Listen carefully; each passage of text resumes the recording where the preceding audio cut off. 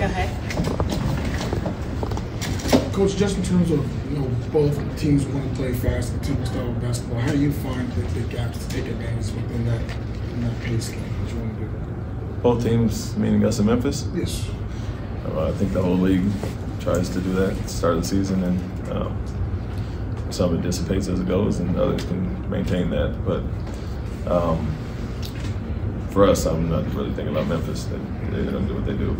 Um, we just really have to be efficient with our biggest thing is spacing and secondary break. We have our initial, which some guys do better than others as far as pushing the pace, but what are we doing next when that's stopped and we don't have an immediate uh, scoring opportunity? What are we getting into next? And that's where we can get stagnant and float a little bit of time. And so we have our secondary options out of that, and we just got to be a little more crisp and intentional in what we're trying to get done there.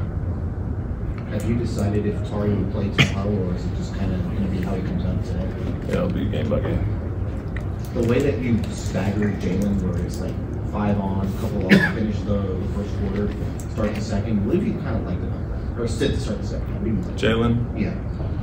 Well, last game we went, got him out early, brought him back to finish, and um, he actually stayed a little, little bit longer than planned in the first quarter. So we liked him to finish quarters more so and get about an eight, nine minute run in the first quarter.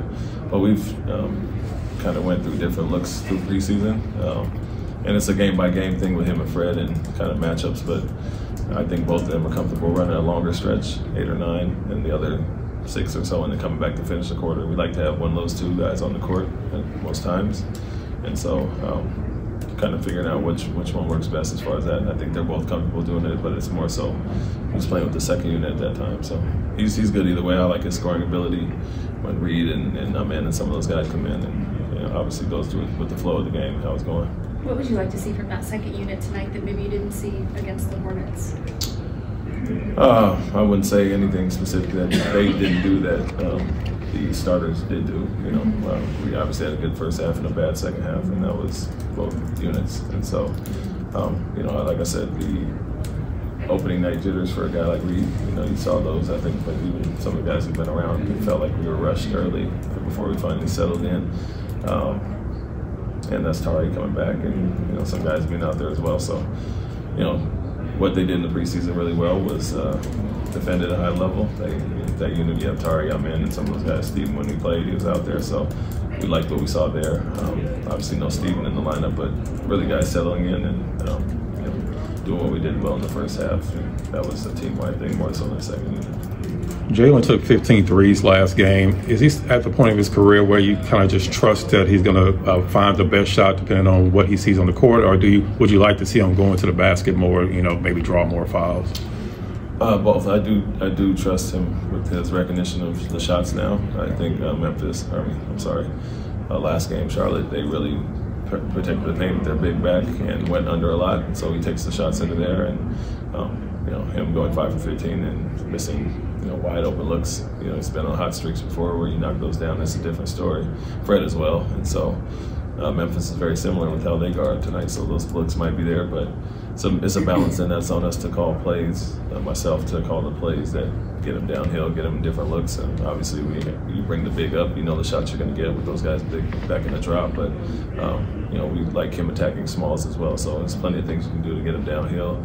But in the flow of the game, make or miss when I don't really want to call it a bunch of plays. You know, dead ball, free throws, timeouts, I'll drop. But I like we do like him taking the shots that were there, and I think he took all extremely good ones. And so, you know, look at it and look at the numbers and it was more so, I, I, would say, our defensive, and we got out rebounded 33 to 12 in the second half. So it flipped as far as that, more so than the open shots that were missed, because we trust those will go in. Is there a minutes target that you have for Amen off the bench, or is it just game by game, whatever makes the most sense? As many as possible, honestly. So it's not a target, but we yeah. love them on the floor. Um, and it's a tough thing when you're playing 10 uh, you know, some minutes get shaved off him, uh, as opposed to if you play nine and you could give him those eight extra minutes. But um, he's most more often than not going to be the first guy off the bench, and for whoever, whether we decide to go one, two, three, four, he can go in for any position. And you want to get him as much as possible, honestly, and the things he does and uh, the way he affects winning. No target minutes. It's just we don't want to obviously be too low. You want to get him all the opportunity you can. Yeah, but that's the trade-off of when you have a ten-man rotation, basically.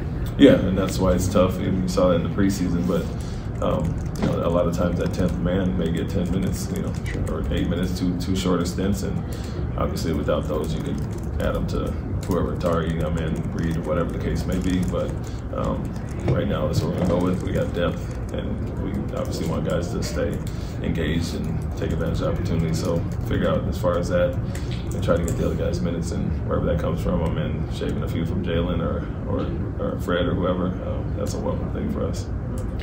If this wasn't part of a back-to-back, would Steven have had a chance to go tonight? And is there a chance for tomorrow night for him? He's uh, definitely a game by game, and um, I don't think it has anything to do with the back to back. If he felt good tonight, he would have played. Um, and we took we would thought about tomorrow, tomorrow, but we're not saving him for San Antonio to not play tonight. You know, um, it's really just a game by game by game, practice by practice, and the way he feels when he's ready, he'll go. And we're not, you know, trying to skip a game. We'll take care of the game in front of us first, and then if we can go from there, we'll play him. Thanks.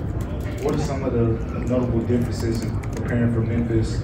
You know, when Ja Morant is playing as opposed to you know last year when he wasn't available.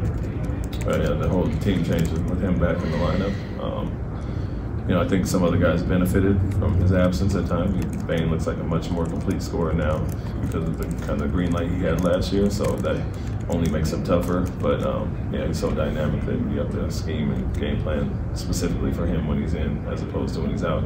He's very unique player. So it goes without saying it's a much different game. The pace is increased, obviously, and then in attack mode all night. You have to be ready for that. Thank you. Thank you. Thank you. Thank you.